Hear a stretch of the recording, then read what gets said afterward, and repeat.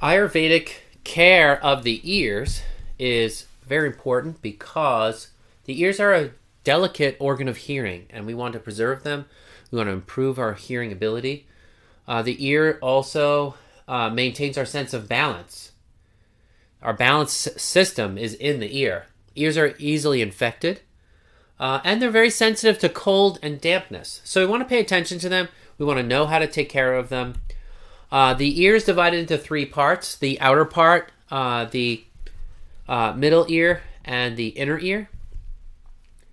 So sound waves and vibrations enter through the outer ear, and all those channels are there to help catch sound. And they travel uh, down the auditory canal and strike the eardrum. So here's a picture of the eardrum, this yellow uh, disc here. And this eardrum uh, vibrates these small little bones. Ossicle, uh, ossicles are the three small bones the hammer, the anvil, and the stirrup. And these amplify sound and send the sound waves to the inner ear uh, and into a fluid filled hearing organ called the cochlea. And that fact that that is a fluid feel, uh, filled organ is going to play into the Ayurvedic pathogenesis of ear issues uh, being associated with uh, the quality and quantity of fluids. In the inner ear now, that organ uh, in the when the vibration they're called the cochlea, uh, it resembles a snail shell a, a bit like a snail, and uh, the vibrations push against uh, specialized cells known as hair cells, and uh, they turn vibrations into electrical nerve impl- in- impulses, which is really a kind of genius thing. And then you also see here the balance system is a sort of the upper right of this, the upper left of this snail here. Um, you see that there's all these little channels there that can uh, that can help us with uh, balancing. Then there's the eustachian tube. The eustachian tube is uh, this canal from the nasopharynx, from basically the cavities in the in the upper throat and be in the nasal passages uh, that connect to the ear. And the reason why we need that canal is to uh, control air pressure in the middle ear.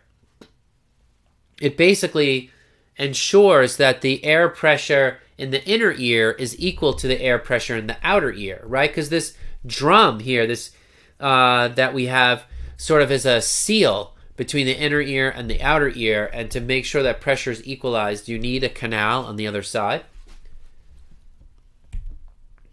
Uh, so the eustachian tube is usually closed, but it opens when yawning, swallowing, or chewing.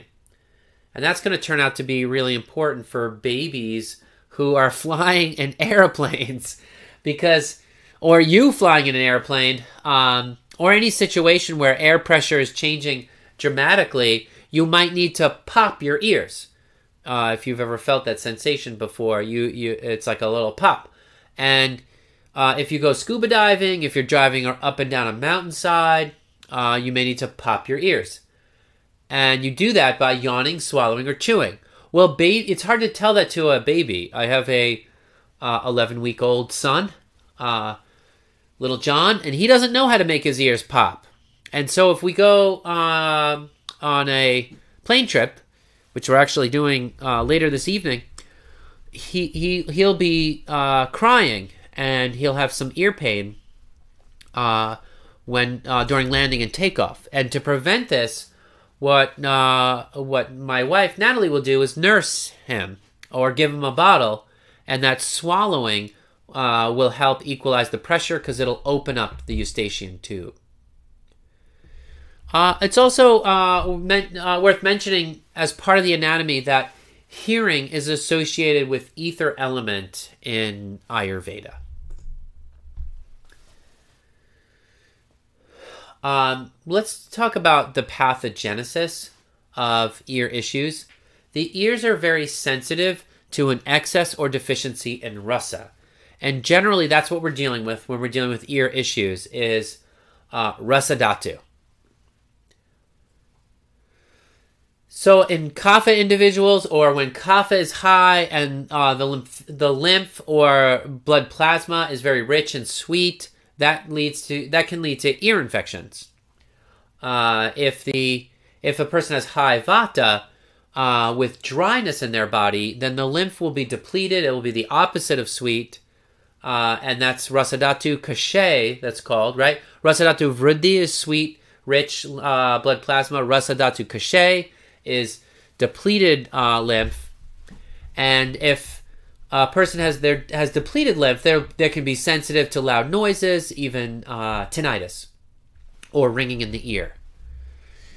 So generally, we're going to be looking at rasadhatu or the lymphatic, uh, the lymph, the qualities of the lymph uh, to determine what's going on there with the ear. I, what is Ayurvedic care for ear infections? Uh, let's talk about the causes first, and then we'll get to some of the remedies. Uh, ear infection is usually caused by bacterial or viral infection affecting the middle ear, and it uh, coincides with painful inflammation and fluid buildup. So, um, the inner ear is f- actually filled with fluid, and then there's this area here, the middle ear, also um, can is are the parts that can get affected.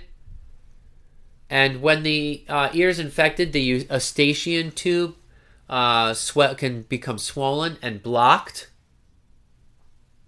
and fail to drain. Generally, when there's an infection, there's stagnancy somewhere, right? There, there's fluids that can't move, can't drain, and that stagnancy uh, creates a ripe environment for bacteria to grow. Uh, and in this case, it's the eustachian tube getting blocked that causes the lack of fluid flow. And the blocking of the eustachian tube causes pressure in the ear to start, and that can, uh, and, and in the end, the blocking, as I said, creates infection. Ear infection can be a complication of allergies, colds, sinus infection, or cha- even changes in air pressure.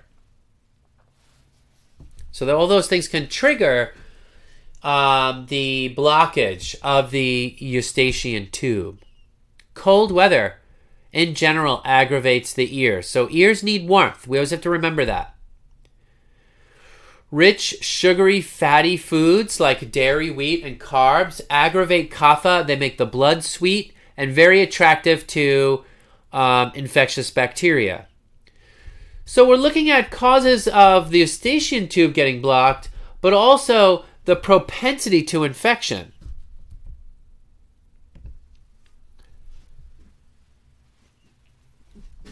If a person has aggravated kapha dosha or eating lots of rich, sweet, fatty foods, that can increase mucus congestion in the area, which could also block uh, the flow, smooth, easy flow of fluids. Children are especially prone to ear infections. And why is that? Because the eustachian tube is nearly horizontal. Even in this photo, look at the difference in terms of the height of the head between the ear and the mouth for this adult. And you see here that the ear is basically at the level of the nose, and the mouth is a few inches down. There's some nice drainage there. Now let's take a look at this baby here. Look at the difference between um, uh, the height of the ears in relation to the mouth. And so these babies have nearly horizontal eustachian tubes that just don't drain as well. Babies are also, uh, children in general, are in the kapha stage of life, which means they're more prone to infection. So if your child gets repeated ear infections, consider removing wheat and dairy from their diet. And also, by the way, seeing a chiropractor because poor alignment um, in the neck uh, can cause uh, disruption in circulation and lymphatic drainage, which can increase uh, ear infections. Let's look at some uh, remedies for ear infection. Antibiotics may be necessary. Uh, it's not quite antibiotics isn't a, really a lifestyle thing, but we didn't have another category to put it in. Um, but antibiotics may be necessary Uh, untreated ear infections can cause permanent damage to the ear canal. So just remember, it's a serious thing. Uh, so notice when symptoms start and try to prevent development. Uh, be be paying attention. Um, if you have a cold and you notice that there's uh, pressure buildup in your ear, uh, start to take action. In general, keep your ears warm. Wear a hat and scarf. Keep your ears dry, especially after uh, shower or swimming pool, and um, and use a warm compress outside the on the outside of the affected ear. Once infection has started, you're not only going to pacify kapha but also pitta uh, to reduce inflammation and fluid buildup. So you're going to avoid things that would cause inflammation, uh, they, things that are aggravating, pitta aggravating foods like chili peppers. You know, they're just going to heat up your ears, and heat to the ears can be good, but if the infection is there, um, you just don't want to aggravate uh, pitta. Heat is fine there, but you don't want to aggravate pitta itself. Um, yeah.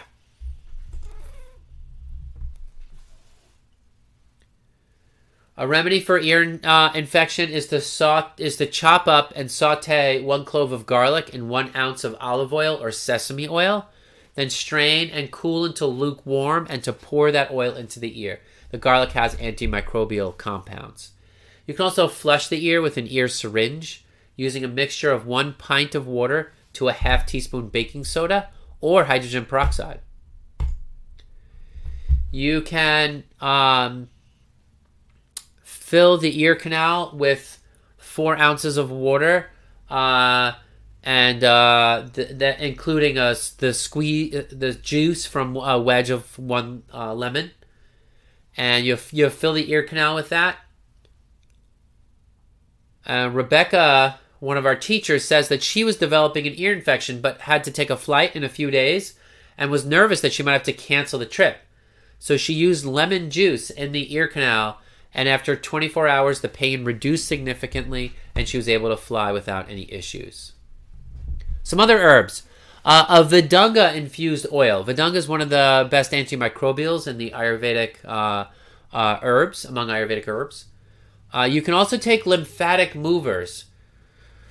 Uh, generally, we, these will, uh, in fact, bayberry is a strong lymphatic mover for the head. It kind of dilates all of the blood vessels in the head and gets uh, your, all the fluids moving, which is good for ear infections. My daughter, Carmela, had an ear infection, and we used uh, drops of olive oil infused with uh, chickweed in her ear, and that was uh, helpful within two hours. Uh, red root, manjistha, turmeric are other lymphatic movers. Let's talk about the Ayurvedic perspective on earwax buildup. First of all, a certain amount of earwax is essential and healthy. It protects against bacteria and has antifungal properties, but if it builds up excessively, it can cause uh, balance loss, especially in older adults. Ear, we have a term for earwax in Ayurveda. It's called karna mala. Karna means ear. Mala means a waste product of the ear. So earwax is basically in Ayurveda waste product of the ear.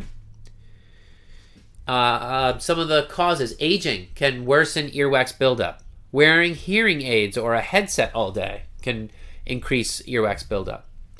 Uh, cleaning ears with Q-tips can cause wax to become impacted or blocked. Here's an interesting fact um, the earwax is considered to be a waste product of, mu- of muscle tissue, of mamsadhatu.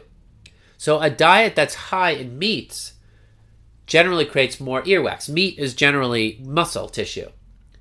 So, any food that increases muscle tissue can increase earwax. So high protein foods and kapha provoking foods also, by the way. Um, yeah. If you have serious case of earwax and it's very impacted, the doctor may remove the earwax with a small uh, plastic spoon called a curette or through gentle suction. And they, they will avoid the use of Q-tips, right, which just pushes it in. You can try softening the earwax by applying a few drops of hydrogen peroxide solution. Once um, uh, the earwax is softened, you can use warm water to irrigate the ear canal and uh, flush it out. So soften first, then irrigate. You can also do a practice called oleation of the ears, karna purana, which loosens the earwax, and we'll talk about that in a bit. A diet to reduce earwax. Well, you want a light kapha pacifying diet. Earwax is oil, wax is oil essentially, so you want to reduce kapha and avoid uh, excess consumption of heavy meats. And then we've uh, you can fill the ears with sesame oil. Uh, taking Trikatu and honey internally will um, can be helpful to reduce earwax because honey scrapes fat and Trikatu is a cardiac stimulant that gets your circulation up. Ringing in the ears is generally caused by damage to the middle ear. And here's a picture of the ear canal where there's the eardrum and the bones that connect the eardrum to the cochlea is um, so this middle ear if there's damage in this area that's what causes ringing in the ear um, the uh, damage to the middle ear can be caused by recurring infections, loud noise, trauma, etc. There are n- numerous things that can cause it. Uh, and the first is excessive noise exposure. When you have metal against metal, such as, uh, you know, I remember doing some construction work on my house and taking a hammer and banging on a metal crowbar. And that hammer bang on the crowbar is extremely harsh on the ears because it has a lot of re- very high frequency noises and so you really have to wear earplugs when you do when you uh, are in the construction industry in general to protect uh, your ears. And that's exactly what I did when I was doing that project. If you go to uh, concerts, don't stand near the huge speakers that they have, and even wear earplugs if you need at the con- at the concert. Soldiers in active combat may um, have explosions near their ear, and uh, that can uh, cause ringing in the ear later. And any kind of trauma to the ear can cause uh, ringing in the ear. Ringing in the ear increases with age. Generally, um, tinnitus or ringing in the ear is associated with hearing loss and hearing problems. Uh, and uh, hearing these hearing problems increase generally increase with age. The functioning of nerve fibers in the ears declines and um, and there's other degenerative changes that can lead to ringing in the ears. So, uh, ringing in the ears is generally considered to be a vata condition. Head and neck injuries can cause ringing in the ears, uh, which is the case for uh, 10% of individuals with tinnitus. And people who've had head and neck injuries uh, tend to have more severe cases of tinnitus. If you have uh, TMJ, which is a, a, disorder in the jawbone uh, where it connects to the head, you're more likely to develop tinnitus. But pe- but no one's exactly sure why TMJ and tinnitus uh, correlate. A buildup of earwax that it gets impacted in the ear can cause damage to the to the ear. Uh, generally in Ayurveda, uh, ear ringing in the ears is considered to be um, caused by ama and a sign that the doshas are acutely aggravated.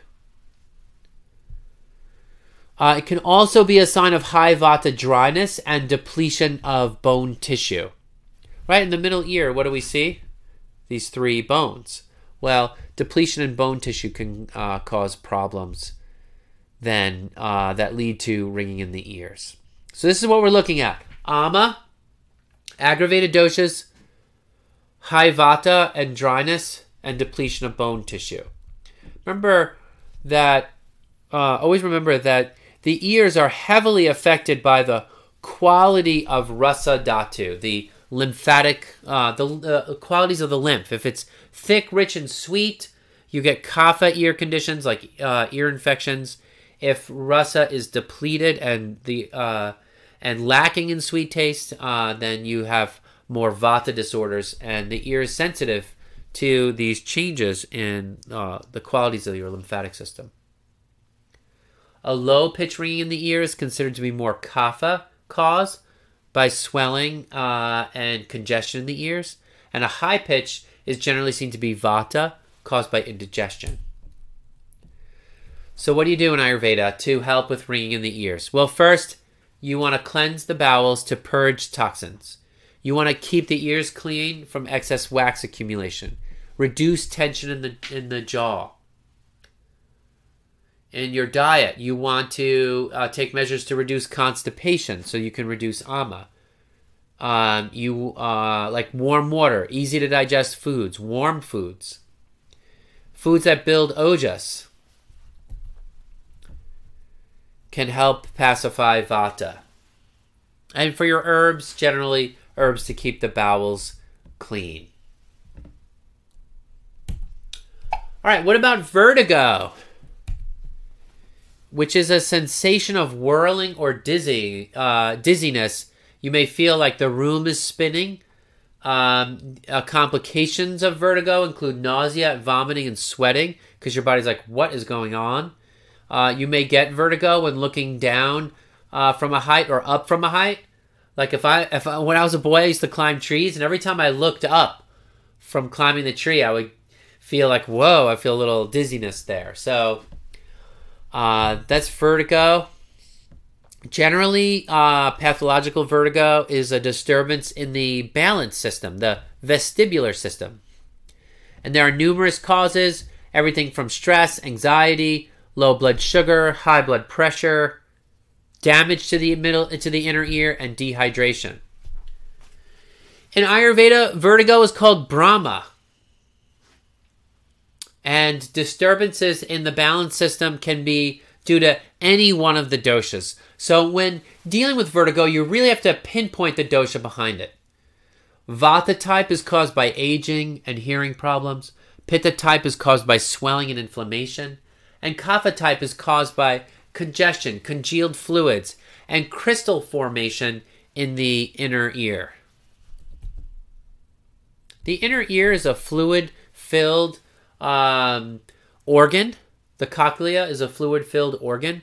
And this vertigo uh, happens when there's uh, uh, congested, conge- uh, congealed fluids or crystals in the fluids. Um, and uh, yeah, so think about what is the dosha behind your vertigo. Most cases of vertigo resolve themselves. Avoid things that would specifically promote it, provoke it, like uh, going to heights. And make sure you sit down immediately and whenever you feel dizzy and get your head to the floor. What you don't want is to get dizzy and then lose consciousness and fall down and injure yourself. It happens to people all the time and creates a really serious injury.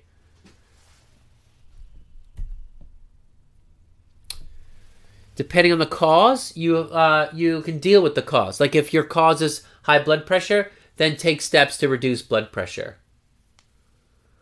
Uh, stay well hydrated because dehydration uh, thickens fluids. And generally avoid caffeinated drinks. A good herb for vertigo is Bhringaraj because it tonifies vata and the nervous system. Um, and uh, that's helpful for vertigo. It reduces dizziness. And ginkgo is another herb that's used for vertigo because it improves blood flow to the brain. Imagine bayberry would be another herb that would be useful for vertigo just because it's so good for blood flow to uh, the upper body and especially the head. Ayurveda offers many wonderful techniques for general care of the ears. Karnapurna is perhaps the most famous ear care technique in Ayurveda, and Karnapurna means filling the ears with oil. Karna means ear, and Purna means filling. And here's a picture of someone receiving Karnapurna treatment.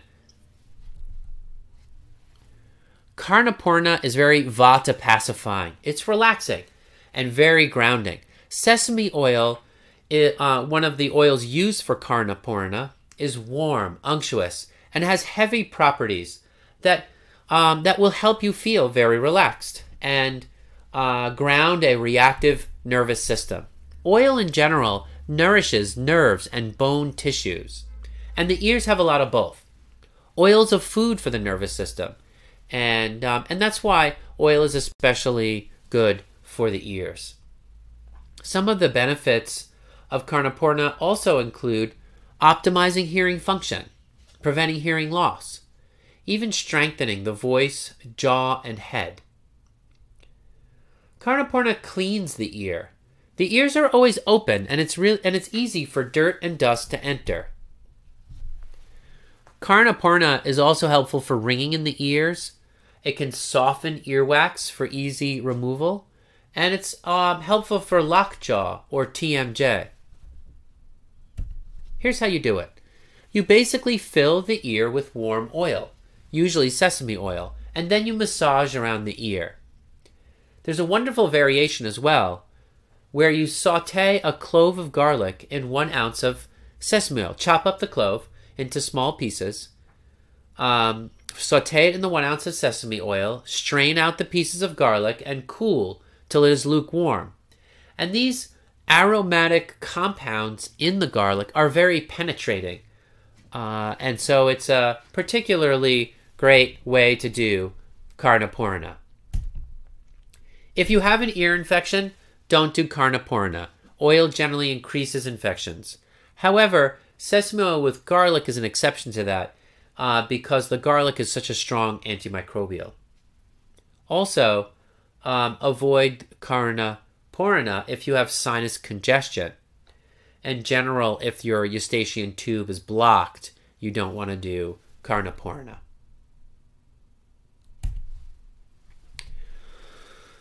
Let's go over some general treatments of the other general treatments of the ears. Uh, first, lifestyle treatments. Keep your head warm. The ears love warmth. Gargling, chewing and swallowing assists in the disposal of earwax and clearing the middle ear because it opens the eustachian tube, and that's beneficial for ear infections. Massage frequently around your ear. Place your hands on your uh, on your cheeks, uh, basically right in front of the ear where the jaw joint is. Open and close your mouth while massaging the area. And you can stick fingers in you stick your fingers into your neck behind your earlobe and then open and close your jaw again massaging that joint. So you can massage your cheek near the tragus while opening and closing the mouth. Pull your ear up, pull it down, pull it sideways, experiment. All that can be helpful for the ear. See a chiropractor if you need to realign your neck or shoulders to help with lymphatic drainage of the upper body, and that can help with ear health.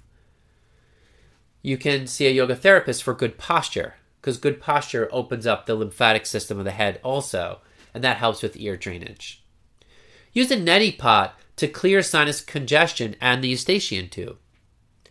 Here's another technique. You can place half a raw onion outside the ear. The intensity of the onion uh, can be lessened by roasting for 30 seconds if it's too much for you. But basically, the uh, um, compounds in a raw onion are strongly vasodilating and improve the circulation um, and flushing of fluid from the ear. And that's great for ear health.